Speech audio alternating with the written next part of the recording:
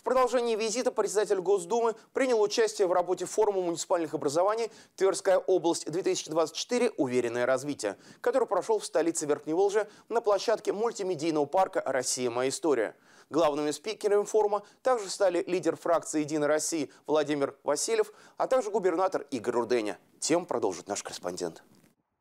Форум муниципальных образований проводится в регионе уже восьмой раз. За прошедшие годы он стал важной площадкой для обсуждения ключевых вопросов в жизни Верхневолжья. В этом году мероприятие объединило полторы тысячи человек. Это делегации всех муниципальных образований региона, участники СВО, представители общественных ветеранских организаций, педагогическое и медицинское сообщество, молодежные объединения. Совместное рассмотрение ключевых задач развития регионов всегда востребовано на общегосударственном уровне. Сегодня каждый из нас вносит свой неоценимый вклад в развитие Верхневолжья и всей России. Хотел бы поблагодарить вас и ваших коллег за ежедневный труд, за единство в решении на местах общегосударственных задач.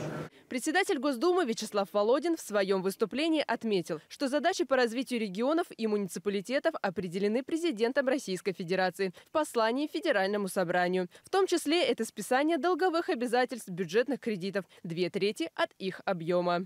Если посмотреть в разрезе тоже Тверской области, огромные деньги, что позволит Тверской области уже с новыми силами и открывающимися перспективами строить планы на будущее, привлекая сюда инвесторов, участвуя в реализации совместных программ, в Тверской области активно реализуются национальные проекты, инициированные главой государства. За пять лет валовый региональный продукт Тверской области увеличился в полтора раза, а рост отгрузки продукции обрабатывающей промышленности составил 63%. В сельском хозяйстве рост составил порядка 39%. Развитие экономики позволяет решать задачи в социальной сфере. В первую очередь это семейная и демографическая политика. Большое дело сделано в Твери, объединено большинство муниципалитетов, соединены ресурсы, это позволило увеличить эффективность, это замечательно.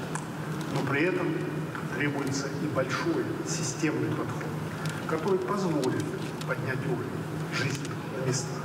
А без этого нам не удержать людей, нам удержать вот тот процесс вымывания, который по мере совершенствования транспортной инфраструктуры размывает наши силы.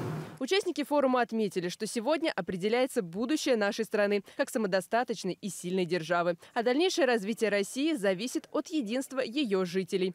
В завершении форума председатель Государственной Думы РФ предложил всем принять активное участие в ближайших выборах, прийти на избирательные участки и проголосовать.